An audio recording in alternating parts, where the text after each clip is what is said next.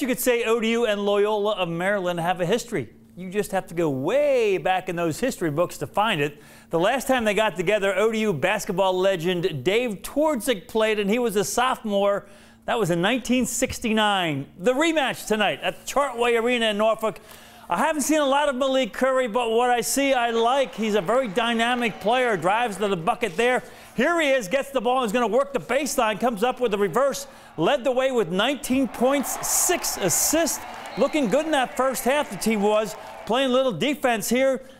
Jason Wade with the steal and the drive. They were up by 19 at halftime and cruising. Maybe cruising a little too much. They were uninspired, to say the least, in the second half. Xavier Green didn't do much in the first half, but he came alive a little bit in the second half. That's the lead got down to seven.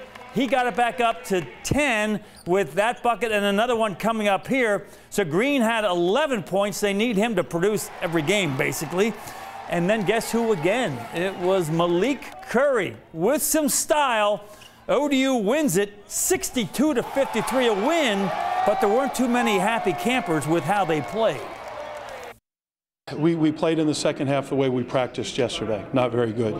Uh, it's, you know, we're, we're happy to get the win. It's, it's embarrassing to get out hustled and outplayed the way we were in the second half. Um, there's no excuse for it. Uh, we'll, we'll have to address it tomorrow. I wouldn't say it was no cruise control. It just we we wasn't playing hard at the end, and we kind of like cruise, kind of we kind of cruised through. Coach not having that though. You know, we gotta be better at practice tomorrow. But I think we can play way better. We need to push the tempo more. Uh, we need to get more fast break points. We need to keep it going. I think uh, we we let off the pedal, like I said, and we weren't scoring, and that allowed them to catch up.